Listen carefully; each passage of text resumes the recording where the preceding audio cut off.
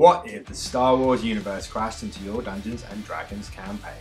This is the Player's Dungeon Guide, and today we're going to show you six steps to build the original Star Wars hero, Luke Skywalker, in Dungeons and Dragons. So let's get started. Step one, choose a race. For Luke, we didn't want to go too crazy with races, so we stuck with Variant Human. This is great because it gives us a feat at first level, so we can go straight into some of our Jedi tricks. For that feat, we took Magic Initiate. This gives us a nice spells to play with and the perfect flavor spell for Luke, which is of course Green Flame Blade. So this can make our sword look like that lightsaber that he uses and we can even do the noises as we charge into combat. We also gra grabbed Mind Sliver to give us a Jedi-ish attack cantrip and Charm Person so we can wave our hands and say these are not droids. Step 2, pick a background. Unfortunately, there isn't a farmer background in D&D, definitely not a moisture farmer background, so we took Outlander. This helps us play to the idea of Tatooine being on the edge of the universe, where Luke says, there's a bright centre of the universe, you are on the planet that is farthest from. Step 3, class.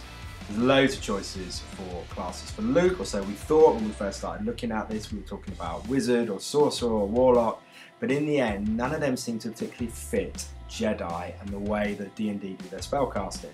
So in the end, we went for the Psi Warrior Fighter subclass. With this, we get all the great fighter benefits like action surge, second wind, extra attacks, but it's the Psi part that's what turns this into a Luke Skywalker Jedi build.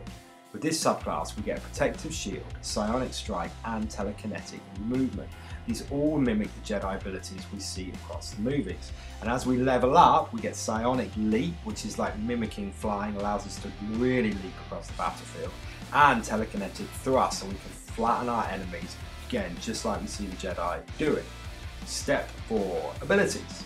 Now, this isn't a typical fighter build, so we didn't go big on strength, instead we dumped it all on dexterity as our primary stat. This allows us to take a finesse weapon effectively.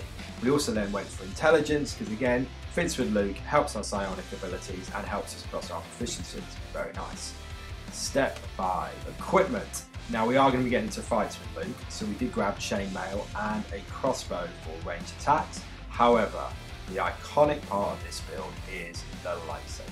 So for that, we took a rapier, which does a nice effective damage. We can use it with this dexterity, it's a finesse weapon, and we will have green flame blade always on. So it will beautifully mimic that lightsaber when we're fighting.